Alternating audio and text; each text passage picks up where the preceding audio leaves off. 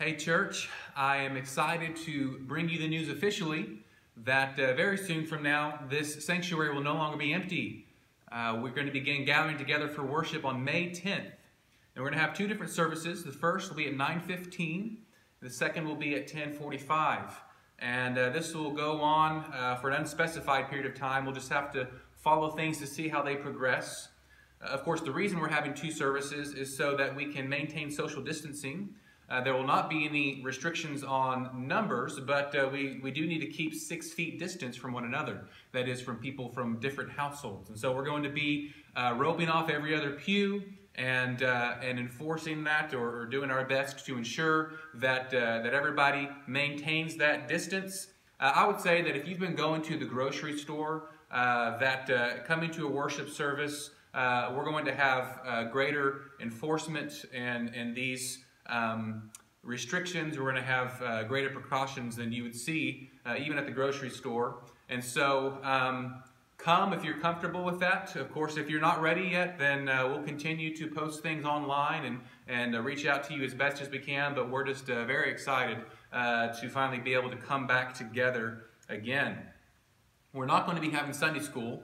However, we are encouraging uh, the different Sunday school classes to come to uh, different services. And so uh, for that first service at 9.15, uh, we're encouraging the uh, older adult Sunday school classes. So um, Dennis's Adult 2 class, and then the, the Winsome class, the Naomi class, and then also Bonnie's special class.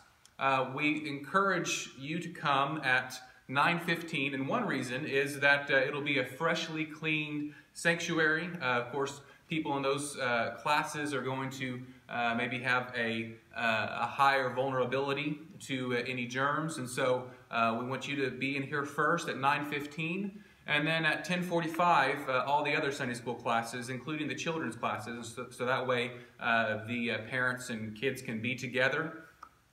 And if you don't come to Sunday school, uh, then uh, you can come to either service. And really, even if you do come to Sunday school and you really need to come to one or the other, that's fine.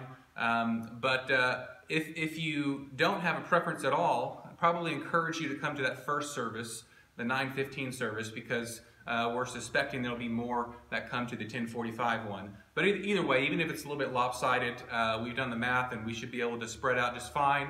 And uh, again, we're very much looking forward to that. Uh, so, so no Sunday school. We will, however, have our Sunday uh, evening uh, service at 6.30, just as we had been doing before. And so, uh, so looking forward to that as well. Uh, we're just coming upon our, our, summer break for Growing Together, but probably in a month or so, we'll start our summer book study as we have in the past. And so, so a lot of, a lot of exciting things around the corner. And so we will have one, one more online service only that is uh, coming up this next Sunday. Uh, but then after that, I look forward to seeing you face to face.